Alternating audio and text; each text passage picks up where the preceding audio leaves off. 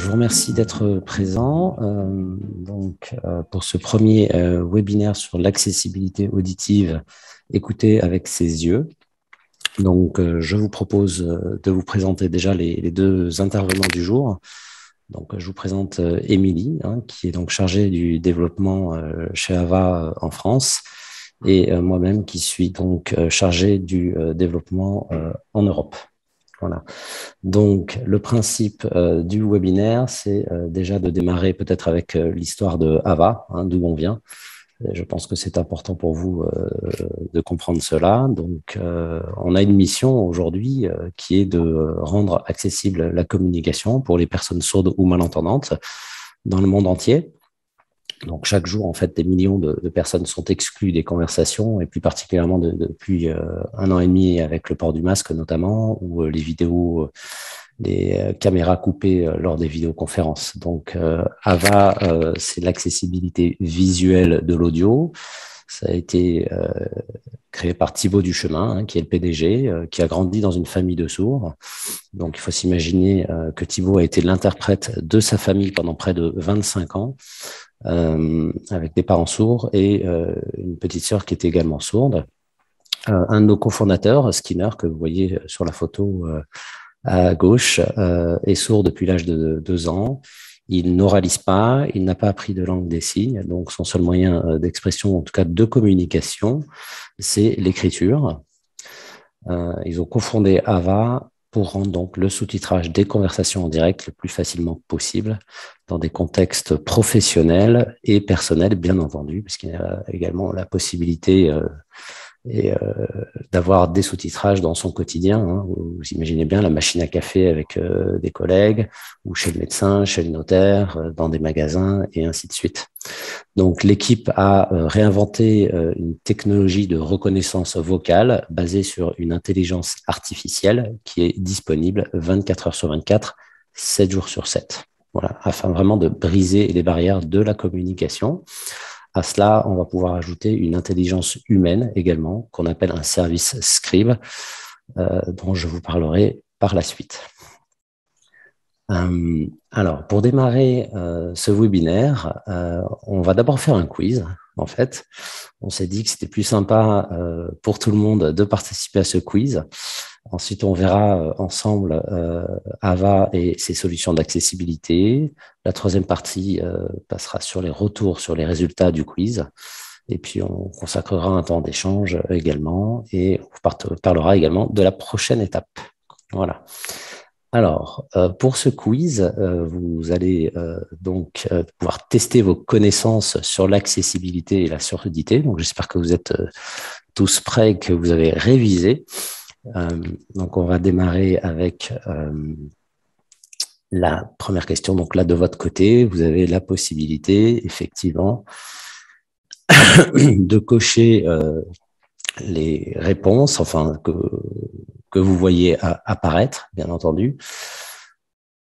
Donc, la première loi définissant légalement le handicap date, selon vous, de quelle date? Donc, 1924, 1957, 1975 ou bien 2005. Je vous laisse quelques secondes pour cocher. Alors, vous ne pouvez pas faire appel au public hein, pour ce, quiz. Hein. Ce n'est pas question pour un, champion ou euh, le jeu des, millions. Euh, La deuxième question euh, concerne la loi qui limite à 100 décibels le niveau sonore maximum des baladeurs et à 105 décibels celui des discothèques. Donc selon vous, à partir de quel niveau un son devient-il nocif pour l'oreille? Alors à chaque fois, s'il ne s'agit que d'un choix unique, bien entendu, vous ne pouvez pas choisir plusieurs réponses. Donc est-ce 85 décibels, 100 décibels ou 105 décibels?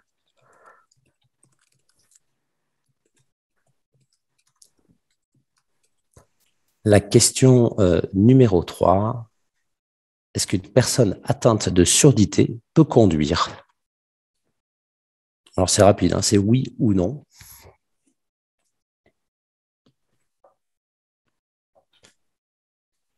Quelle est, pour la quatrième question, le pourcentage de personnes avec un handicap invisible? Selon vous en France S'agit-il de 20% de la population, 40%, 60% ou 80%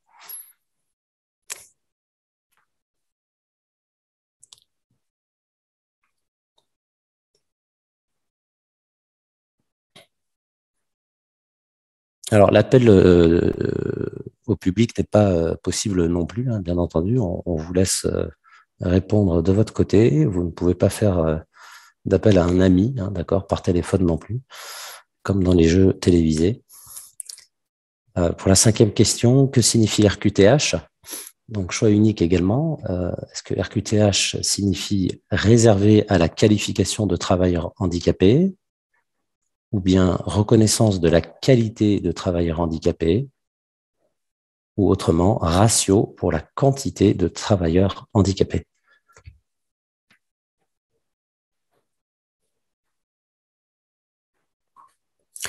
On va passer à la sixième question euh, qui vaut 500 000 euros.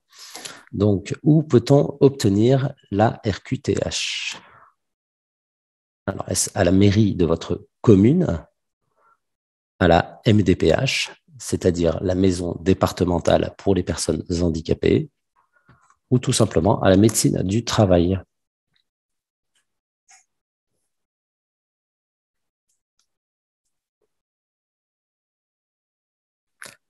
La question 7. On est bientôt à la fin.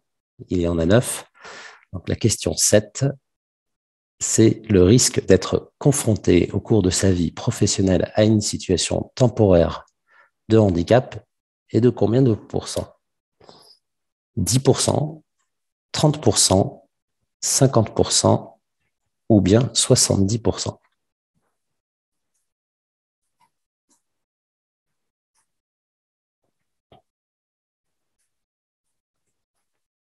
Pour la question numéro 8, en pourcentage, selon vous, combien de travailleurs en situation de handicap nécessitent un aménagement de poste?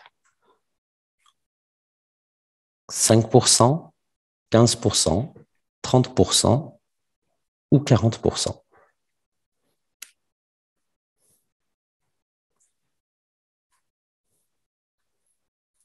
Je pense qu'on arrive à la dernière étape pour gagner le fameux million d'euros. Donc, euh, la neuvième question, toutes les personnes sourdes et malentendantes utilisent-elles la LSF L'acronyme pour la langue des signes française. Est-ce vrai ou faux?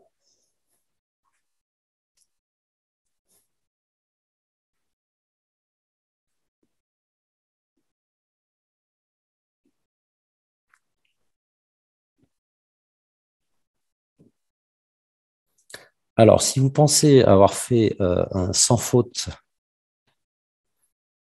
eh ben, toutes les réponses vous seront données dans quelques minutes.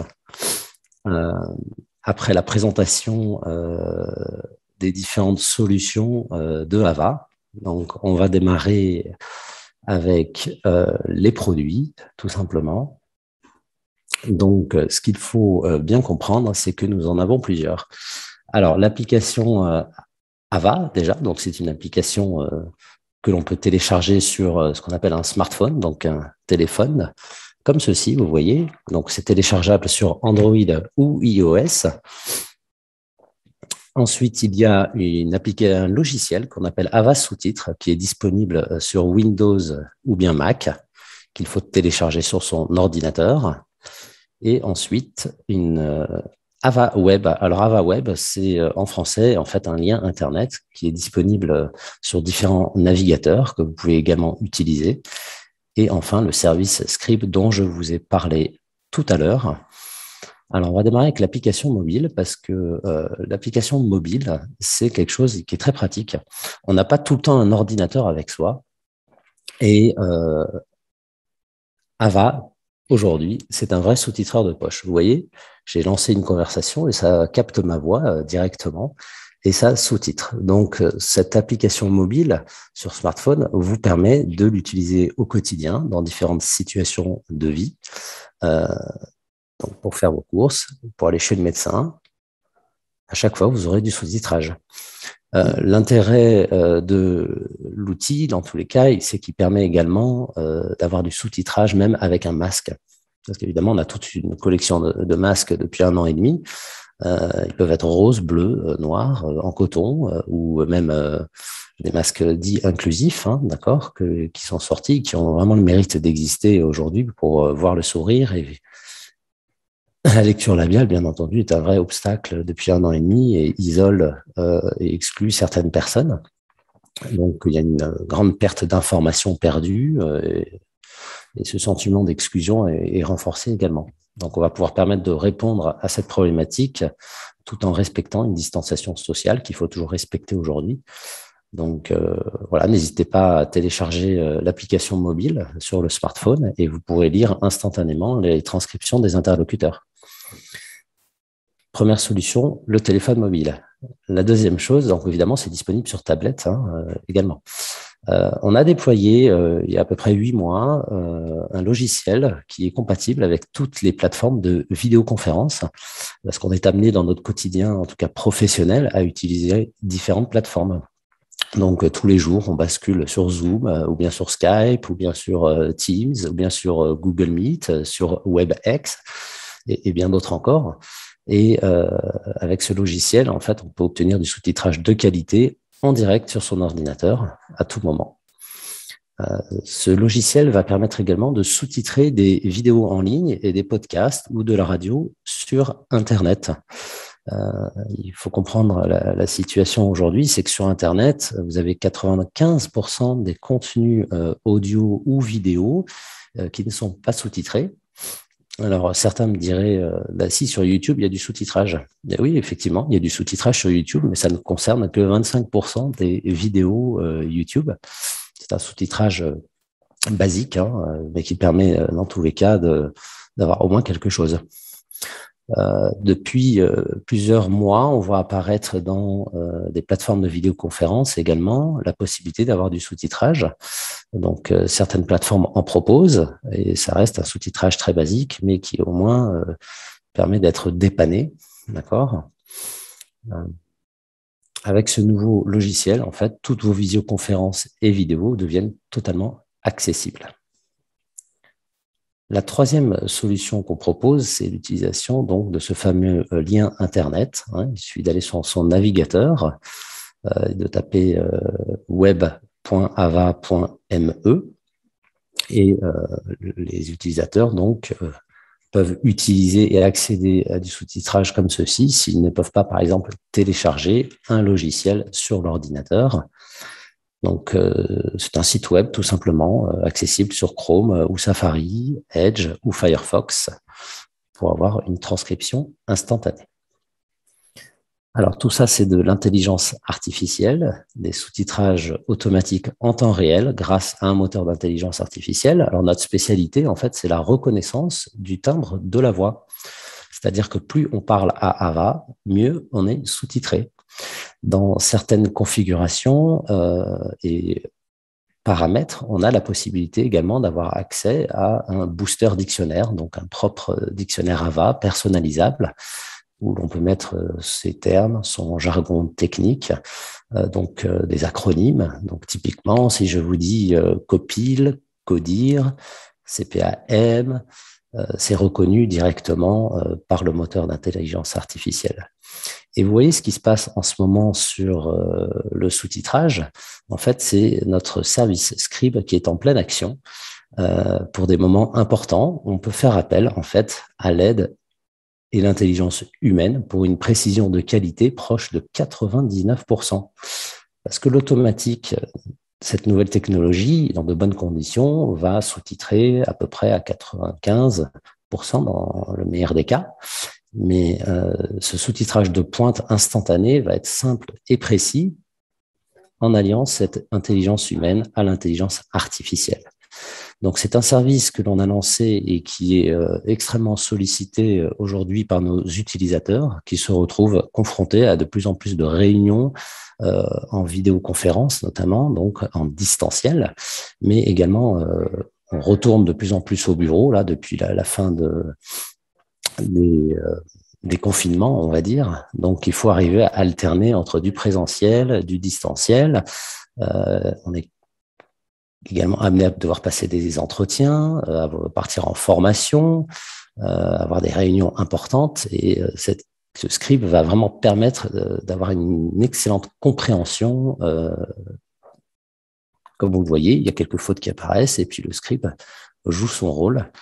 Donc, euh, en tant que sourd ou malentendant, ben, j'ai la possibilité finalement de, suivre ce que je suis en train de dire, tout simplement. Voilà. Alors, pour continuer sur cela, ce que je vous propose finalement, euh, c'est euh, de euh, poser éventuellement vos questions. Donc, dans ce webinaire qui se passe sur Zoom, vous avez en bas à droite un questions et réponses.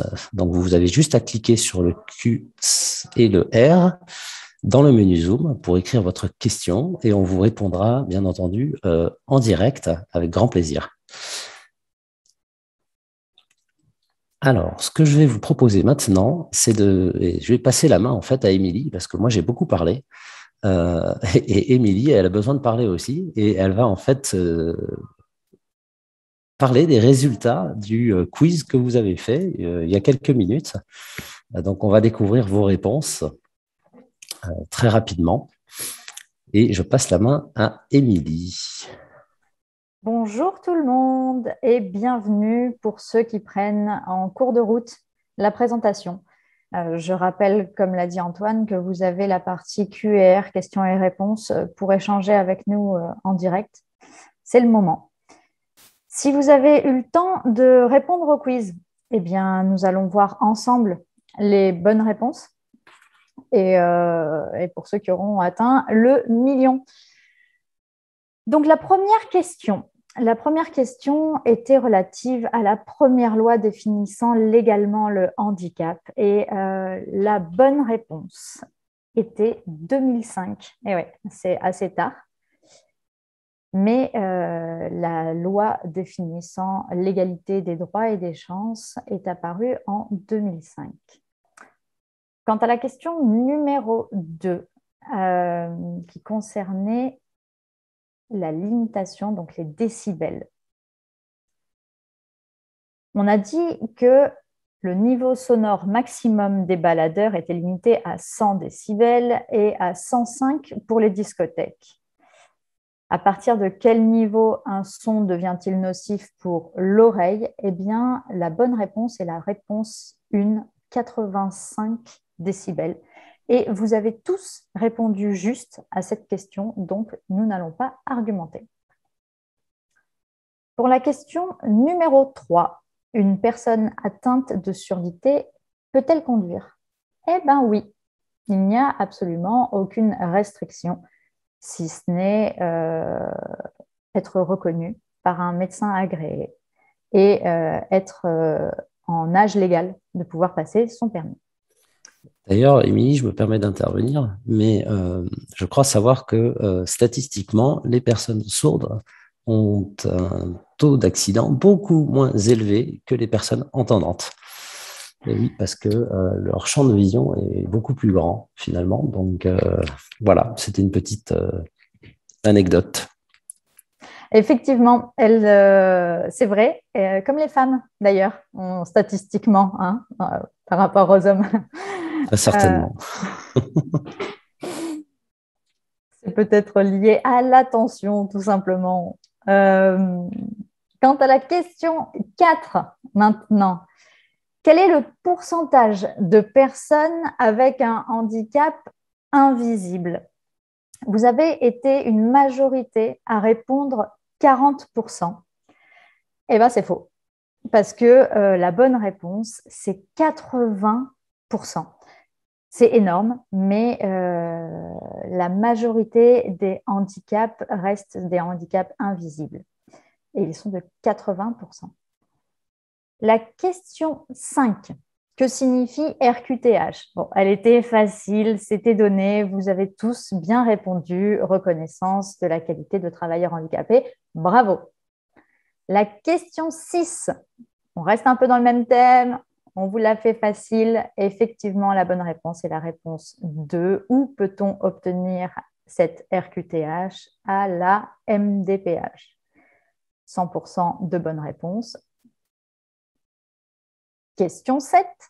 Le risque d'être confronté au cours de sa vie professionnelle à une situation temporaire de handicap est de 50%. Vous avez été une majorité à bien répondre. C'est une chance sur deux. On, a, est tous confrontés à cette possibilité au cours de sa vie. La question 8 maintenant. En pourcentage, combien de travailleurs en situation de handicap, de handicap pardon, nécessitent un aménagement de poste? Eh bien, la bonne réponse est 15%, la deuxième réponse. Et là, euh, vous avez un peu tout répondu, sauf 5. Euh, tout simplement parce que seulement 15% euh, font la demande. Euh, donc, il y en a certainement plus, mais qui ne font pas de demande. C'est intéressant. Et enfin, la dernière question, la neuvième. Est-ce que toutes les personnes sourdes et malentendantes utilisent la LSF Eh bien, c'est faux. Euh, une minorité a répondu vrai, mais non parce que la LSF est une langue qui doit s'apprendre et toutes les personnes sourdes ou malentendantes n'ont pas appris et n'apprennent pas la LSF. C'est pour ça qu'il y a autant de variantes dans la surdité. Merci d'avoir participé et d'avoir échangé. D'ailleurs, à ce sujet, euh, on peut peut-être rentrer dans les détails euh, des différentes catégories de, personnes sourdes ou malentendantes, parce que pour les personnes novices, il y a en fait, euh, ça touche près de 12% de la population euh, française. Hein, donc, euh, et vous avez des sourds profonds, vous avez des sourds par accident, vous avez des malentendants à différents degrés. vous avez des, des, personnes sourdes qui peuvent oraliser, c'est-à-dire qu'elles peuvent parler, des personnes d'autres qui ne peuvent pas non plus oraliser les sourds en lecture labiale, hein, comme on l'a expliqué, hein, toute la difficulté, vous voyez, et la plupart sont en, enfin très souvent en lecture labiale et ont besoin de sous-titres. Donc, si je porte un masque, par exemple, euh, évidemment, pour les personnes dans l'assistance, ça va devenir très compliqué. Euh, donc, euh, ça, c'est un, vraiment euh, une situation de vie euh, très courante aujourd'hui. Et pour autant, vous voyez, je suis sous-titré hein, directement dans, cette, dans ce webinaire, tout simplement parce que j'ai un micro hein, donc, qui est près de la bouche ici, qui capte ma voix.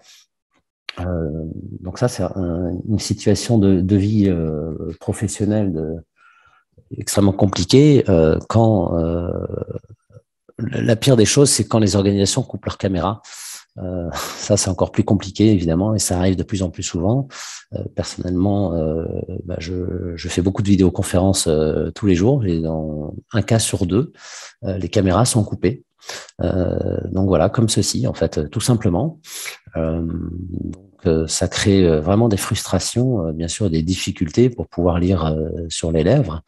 Euh, on, a, pris un peu d'avance par rapport à notre agenda, mais j'en profitais pour les personnes qui sont là de vivre une petite expérience. Qu'est-ce que c'est que d'être sourd? Euh, et ça, c'est quelque chose qui, euh, bah, pour les, en tout cas les personnes entendantes, n'arrive euh, jamais. On entend dans notre quotidien. et je vous propose en fait de cette petite expérience en coupant mon micro. Parce qu'évidemment, si je coupe mon micro pendant ce webinaire, vous n'allez absolument pas m'entendre. Et ce qui va se passer, c'est que vous allez devoir donc vous concentrer sur la lecture du sous-titrage. Voilà, donc c'est parti, on va faire ça quelques secondes.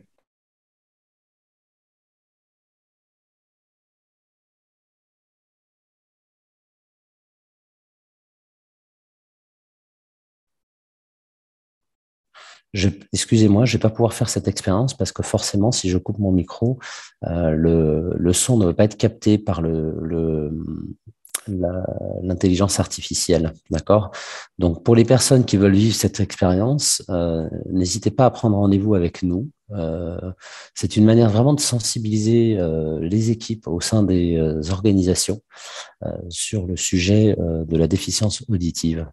Et je peux vous dire que ça fait un vrai électrochoc que de se retrouver à ne plus pouvoir entendre et de devoir suivre des sous-titres. Et voilà pour cela. Donc, alors, il nous reste à peu près 20 minutes, une demi-heure devant nous. Euh, ce que l'on peut vous proposer maintenant, c'est un temps d'échange. Euh, si vous avez des questions, c'est vraiment le moment. On, est là dispo. On a privilégié euh, de passer beaucoup de temps sur des questions-réponses parce que très souvent dans les webinaires, on n'a pas souvent accès à ça. Ça dure cinq minutes à la fin et puis, et puis voilà. Donc, je vous propose de démarrer avec ceci. Alors, dans le chat, a priori, nous avons euh, Marie-Noël.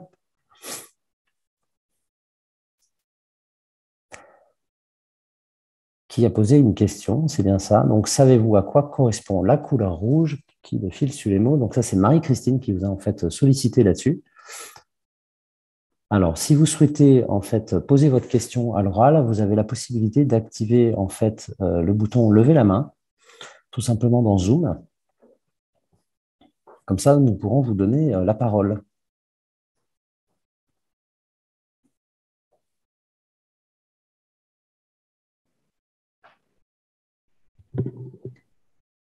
Peut-être, Antoine, si je peux me permettre, ce que nous pouvons euh, décrire et, préciser, ce sont toutes les options euh, en plus de la transcription instantanée d'AVA la traduction, la prise de notes, ah. etc. Oui, c'est vrai. Euh, en attendant que les, les questions arrivent, euh, alors on a eu cette question en fait euh, de la part d'une personne dans questions-réponses qui justement demandait si ça fonctionnait pour l'anglais.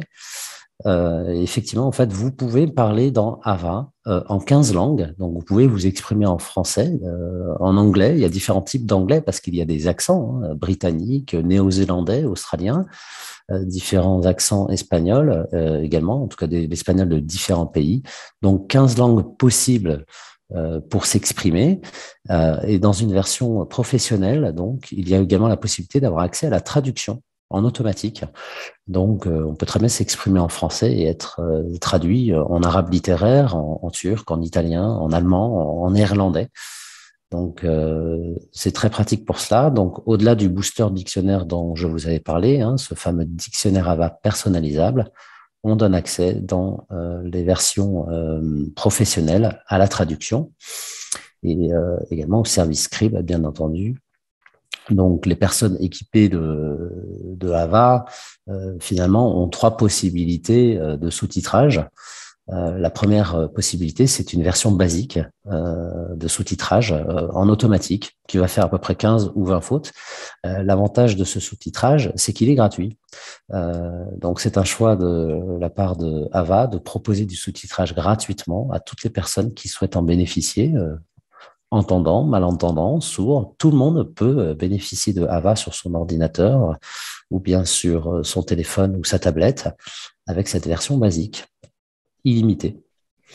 Euh, il existe une deuxième, euh, un deuxième plan qui est le premier plan payant en fait euh, pour les particuliers hein, principalement où on va débloquer, si vous voulez, trois heures de qualité premium. Alors ça c'est la deuxième qualité de sous-titrage. Donc vous avez la qualité basique, ensuite il y a la qualité premium. qualité premium, ça va permettre de faire, d'avoir un sous-titrage qui, qui équivaut à peu près à 5 ou 7 fautes pour 100 mots. Euh, donc le forfait communauté notamment et peut s'acheter sur les euh, stores iOS ou Android. Et pour moins de 10 euros, euh, on peut avoir du sous-titrage illimité avec en plus 3 heures de qualité premium par mois et accès également aux traductions donc ce forfait est remboursé en fait par la MDPH. Ensuite, euh, pour les organisations euh, privées, publiques, euh, eh ben, il y a le forfait AVA professionnel, donc qui va permettre d'accéder au sous-titrage premium illimité, 24 heures sur 24, 7 jours sur 7, d'accéder aux traductions, d'accéder également au booster dictionnaire, à des conversations beaucoup plus longues, parce que là, cette conversation que l'on a lancée, que vous voyez, hein, quand on dit une conversation, c'est un sous-titrage que l'on lance. Euh, généralement, il dure 40 minutes et après, il coupe et il faut relancer une conversation.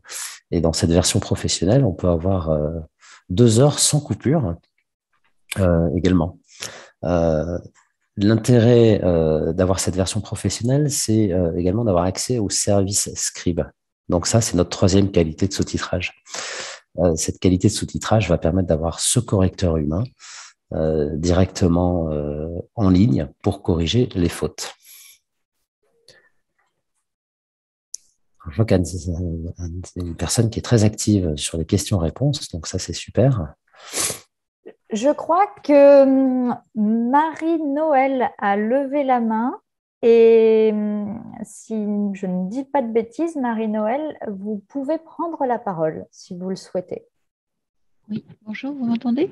Oui, bonjour, très bien. Ah, bonjour, bonjour Antoine. On, s'est euh, déjà entretenu plusieurs fois. Merci à vous et je, continue à m'intéresser de près au sujet. Donc euh, voilà.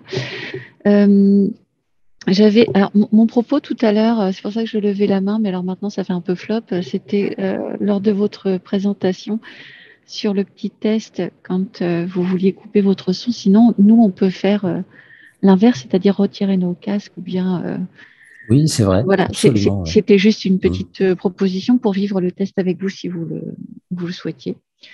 Euh, puis voilà, et puis alors du coup, entre deux, j'ai une autre question, même si vous nous avez déjà beaucoup accompagné sur le sujet, mais j'ai besoin de répétition, je crois. Ouais sur le booster dictionnaire, vous pouvez nous en dire un peu plus, s'il vous plaît? Je ne me souviens plus trop bien. Oui, bien sûr. Bah, écoutez, en fait, le, booster dictionnaire, c'est un, dictionnaire personnalisable que l'on peut euh, et que l'on a dans la version professionnelle directement euh, euh, sur son application mobile. Alors là, ça va être un peu compliqué de montrer. Je vais essayer de le faire parce qu'avec le fond d'écran, c'est compliqué.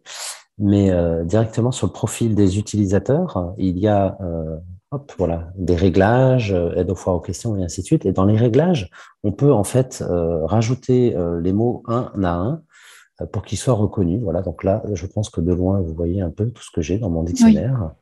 J'ai des mots, des termes. Voilà, donc si je dis script doctor, par exemple, c'est quelque chose qui pourrait être reconnu par le moteur d'intelligence artificielle, ou sinon on a des acronymes. Donc ça, c'est quand on, utilise vraiment euh, le sous-titrage en automatique, bien sûr, et qu'il n'y a pas d'intervention de scribe. Merci. Oui, je, me pose la question aussi pour les, pour les noms propres euh, de nos collègues. C'est le, point noir un petit peu de, des transcriptions en direct, c'est à qui je parle finalement. Euh, et même quand on demande aux collègues d'épeler leur nom, ce n'est pas évident non plus. Oui, oui. Alors, les, prénoms sont quand même assez bien reconnus. Les prénoms, oui. Euh, généralement, hein, si je dis euh, Émilie, euh, Antoine, Mehdi, Thibault, Marie-Christine, voilà, c'est globalement reconnu. après, vous pouvez avoir, bah, je sais pas, des stations de métro, par exemple. Si je dis Saint-Rémy-les-Chevreuses, bon, bah, en fait, c'est reconnu aussi. donc, c'est assez compliqué hein, comme mot, Saint-Rémy-les-Chevreuses.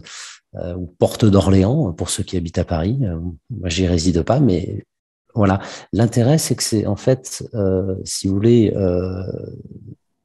ce machine learning qui se fait, il est intéressant parce que plus le script corrige, plus le moteur d'intelligence artificielle va reconnaître ces mots-là. Et c'est mutualisé sur l'ensemble des utilisateurs ou exclusivement sur la personne, euh, l'utilisatrice Oui, euh, c'est mutualisé, bien entendu.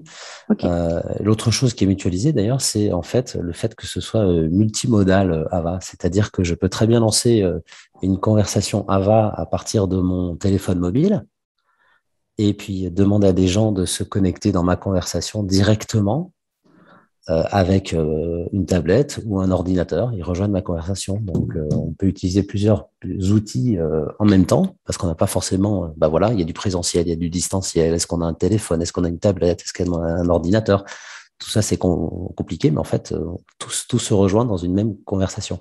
Là, ce que vous voyez aujourd'hui, en fait, c'est vraiment le logiciel qui permet de capter les voix des personnes. Donc tout le monde est sous-titré. D'ailleurs, vous avez été sous-titré. Hein. je ne sais pas si vous avez vu. non. Donc c'est une... Alors je vous laisse, je vous laisse parler. Normalement, vous devriez être sous-titré si vous regardez. je risque d'être un petit peu gênée. Ouais, ça ne reconnaît pas la fille, mais ça va. Non, ça c'est vraiment une option où on n'invite pas de participants, euh, mais ça fait du sous-titrage comme ça, ça, capte les voix des personnes. Donc ça c'est une configuration de, de, vidéoconférence en quelque sorte. Euh, mais euh, les utilisateurs peuvent en fait inviter des participants à être sous-titrés, hein, bien entendu. ça c'est une bonne manière pour identifier qui dit quoi. chacun des participants rentre dans la conversation, met son prénom. Euh, chaque fois que les personnes s'expriment, eh ben, ça permet d'identifier que euh, Louise, Antoine euh, ou Thibault est en train de parler. Alors, l'intérêt, c'est que ça ne demande pas d'installation technique, hein, de matériel. Hein, tout est en quelque sorte dématérialisé. Vous voyez, il y a un logiciel, il y a un, site, un lien Internet. Donc voilà, c'est juste une histoire de micro finalement. Et le micro, c'est ce qui est le plus important pour être euh, correctement sous-titré. Et puis il y a une discipline de vie à avoir, hein, bien entendu. Euh, on évite de se couper la parole, on parle euh, normalement. Hein, voilà, on n'a pas besoin de, s'énerver quand on parle. On, articule, c'est un bon exercice de diction d'ailleurs. Pour ceux qui, celles qui font du théâtre, eh ben en fait, Ava est pas mal pour s'entraîner. Donc les différents types de micros, euh, bon, bah, ce sont des micros euh, externes, hein, des casques, euh, des, micros filaires comme j'ai, hein, qui sont en fait connectés à mon ordinateur là pour éviter les échos et les interférences de mon environnement. Euh, mais si les personnes se retrouvent en formation, par exemple en présentiel, hein, euh, donc euh, on a beaucoup d'étudiants qui, utilisent AVA, on aimerait bien en avoir beaucoup plus, bien entendu. Des, des, personnes qui travaillent dans le secteur privé ou public, qui partent en formation, pourraient avoir du sous-titrage directement sur leur tablette, leur mobile ou leur ordinateur, tout simplement en équipant un, intervenant, un formateur d'un microphone pince-cravate Bluetooth voilà, et de capter le Bluetooth et ouvrir AVA et avoir la transcription. Merci beaucoup.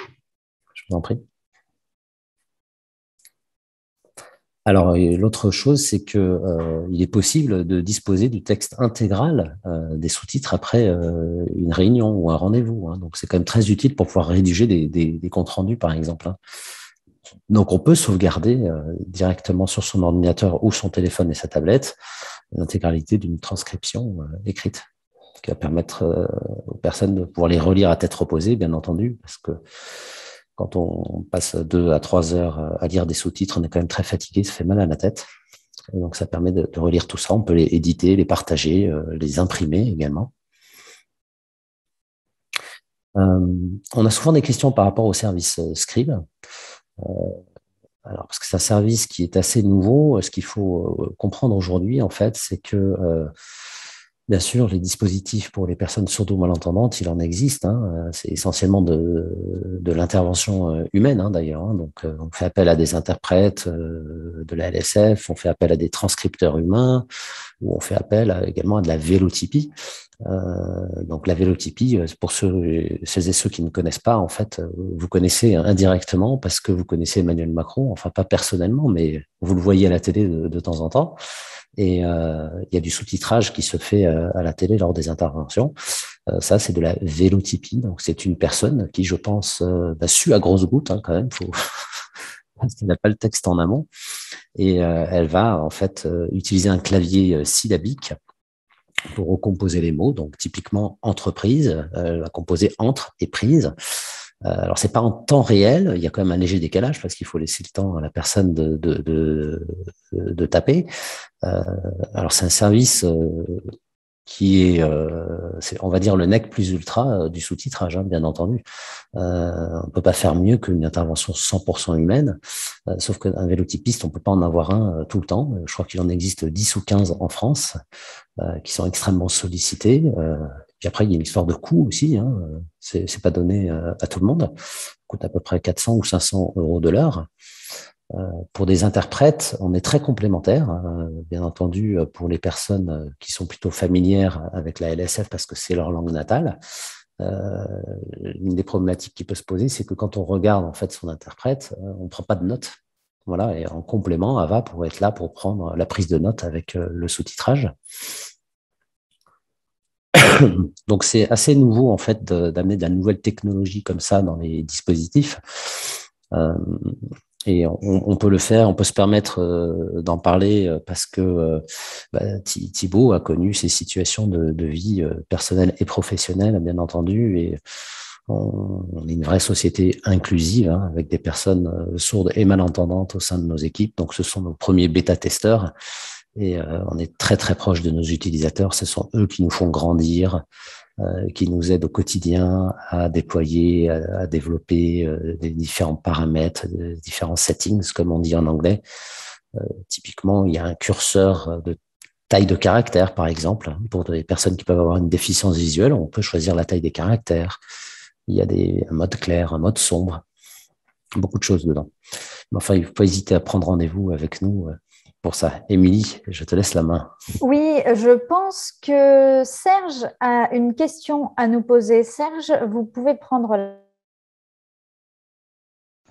oui, bonjour. Vous m'entendez? Bonjour, très bien. Bonjour, Serge. Justement, euh, j'ai une question euh, par rapport aux personnes euh, concernées sur la surdicité. Justement, je vais poser la question, je ne sais pas comment on appelle ça, la fameuse bannière qu'on voit le sous-titrage.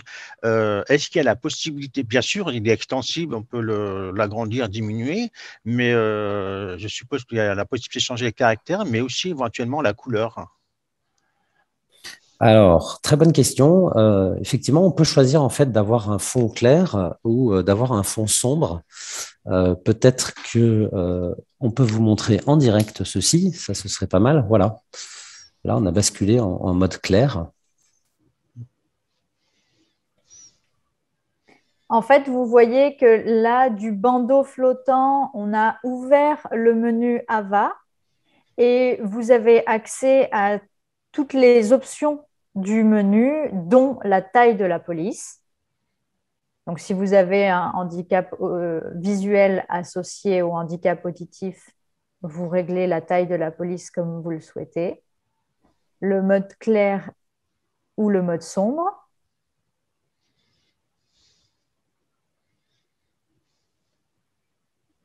C'est vraiment des préférences, un confort et puis tous les autres euh, réglages qui sont accessibles ici, tout ce qu'a évoqué Antoine précédemment. Voilà, c'est ici que vous allez paramétrer la langue parlée, euh, la traduction si vous avez une version professionnelle également. Euh, vous voyez en bas du micro vert à droite, donc le micro il est vert parce qu'en fait il y a un scribe qui est connecté, donc ça vous donne une information visuelle sur le fait que le scribe est bien présent en train de corrigé. En plus du petit euh, logo Scribe que vous voyez à côté du logo euh, de Mehdi. Hein. Mehdi est, là, bien sûr, c'est lui qui est en train de, partager euh, son écran. Donc, c'est lui qui a lancé la conversation. vous voyez qu'il y a un clavier et quand on active ce clavier, en fait, ça laisse la possibilité aux personnes d'écrire. donc, ça, c'est plutôt axé pour les personnes non oralisantes, bien entendu, qui peuvent toujours participer aux réunions avec les collaborateurs en écrivant. Ce texte peut être également euh, vocalisé. Bah, super, merci. Merci à vous pour euh, ces questions, Serge. Je voulais juste terminer par rapport euh, au service Scribe. ce service Scribe est, disponible sur une plateforme, sur réservation. Hein. et ils sont disponibles en règle générale en 24, voire 48 heures d'accord, sur une amplitude horaire assez grande, du lundi euh, au vendredi, de 8h à 19h. Euh, donc voilà, quand on a un crédit d'heure de scribe sur son compte AVA, il est possible d'utiliser ces heures euh, à votre convenance pour les moments importants. C'est une demande en fait assez récurrente de la part de nos utilisateurs qui peuvent être par exemple équipés d'autres dispositifs, hein, d'interprétariat, de transcripteurs humains, euh, qui aujourd'hui se retrouvent confrontés à une situation un peu compliquée, c'est-à-dire qu'il existe à peu près 350 interprètes de la LSF euh, en France. Euh, et il faut du temps pour former des interprètes aujourd'hui, ils sont sursollicités. et donc, il faut trouver quand même des solutions pour avoir accès à la communication. parfois, il faut attendre une semaine, voire dix jours pour pouvoir bénéficier d'un interprète ou d'un transcripteur humain. Quelqu'un avec ce sous-titrage automatique, et j'ai eu quand même droit finalement à, la communication 24 heures sur 24 et avoir ce scribe pour demain. Demain, vendredi, euh, il y aura de la disponibilité, c'est certain, quand on se rend sur cette plateforme. Donc, on arrive à faire ça parce qu'en fait, euh, scribe chez Ava, on peut le former en interne à peu près en, trois semaines, voire euh, un mois et demi. donc, ça permet d'avoir une, réserve de scribe assez importante. Marie-Noël, vous avez levé la main. Oui, merci. si, je comprends bien, effectivement, ça peut être une réponse dans certaines situations sur la, traduction, enfin, la transcription des noms de famille, par exemple, enfin de, tout le reste. Sauf, voilà, c'est sous réserve qu'on est bien réservé. Euh, oui, c'est exactement ça, ouais, mm. absolument. Euh, le fait d'avoir euh, une oreille humaine, parce que seule l'oreille mm. humaine peut corriger des fautes, évidemment. Bah, c'est forcément beaucoup plus simple. Vous voyez, j'ai dit des fautes et puis ça a pris photo. Le, le script corrige. Ok, merci.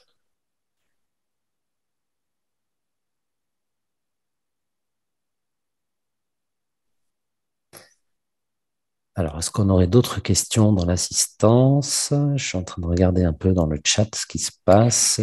Mais donc, on a Marie-Christine qui a, qui a répondu à pas mal de questions. Merci pour ça, Marie-Christine. Marie-Christine qui est responsable marketing chez Ava, qui est en sous-marin dans ce webinaire.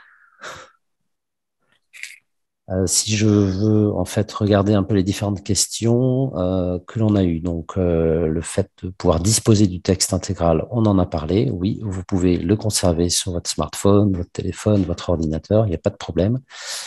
Est-ce que Ava fonctionne pour l'anglais? Oui, on en a parlé également donc dans plus de 15 langues et de la traduction également. Euh, Est-ce qu'il faut réserver des créneaux, des réunions en amont? Euh, Oui, bah, il faut réserver son créneau scribe, bien entendu sur une plateforme, mais autrement, on a toujours accès à du sous-titrage euh, en temps réel 24 heures sur 24. Euh, hum, hum, hum. Et puis voilà, je pense, et le booster dictionnaire, on en a parlé. C'est pas fini, je crois, au niveau des questions. Ah, Serge. Vous pouvez y aller, Serge.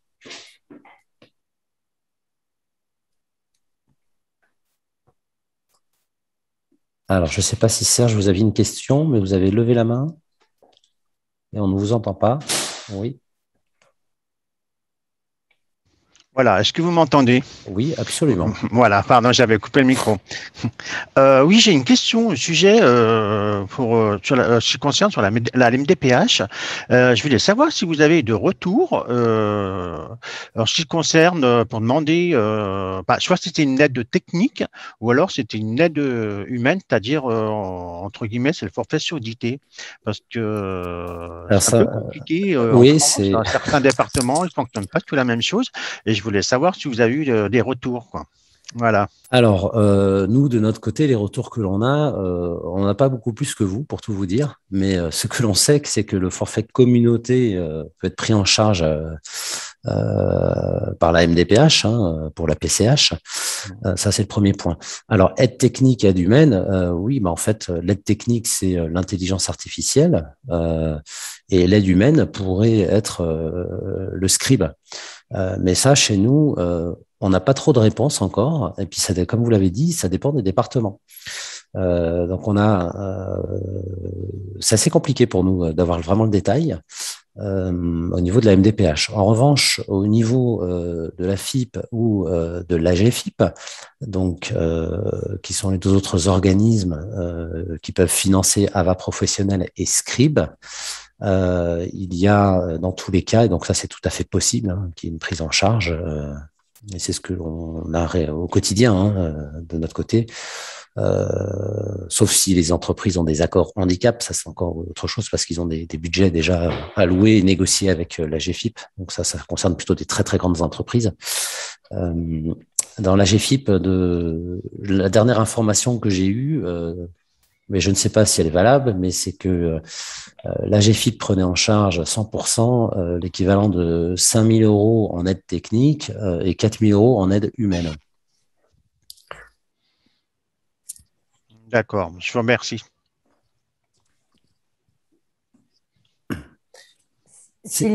Oui, pardon, Émilie. Non, non, j'allais préciser que, étant donné qu'on arrive à la fin, s'il n'y a plus de questions, euh, il, sera, il vous sera euh, proposé un questionnaire de satisfaction.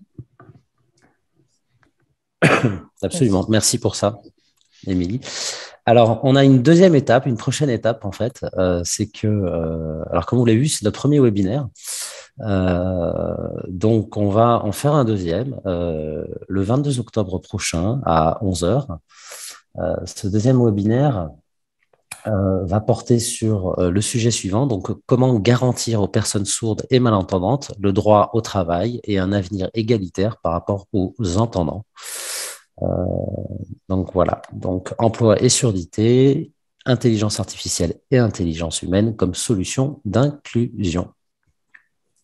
Donc, on vous donne rendez-vous le 22 octobre prochain avec grand plaisir. Euh, n'hésitez pas à partager, bien entendu, euh, à qui de droit et dans votre entourage et à vos réseaux, parce que c'est comme ça que ça fonctionne, euh, qu'il existe des webinaires AVA. Hein. c'est notre premier. on a déjà eu quelques personnes, donc on est très content. tout l'enjeu, c'est d'avoir de plus en plus de personnes à sensibiliser également. Merci à tout le monde et à bientôt. Je Merci, beaucoup. Au revoir. Merci, au revoir. Merci, au revoir.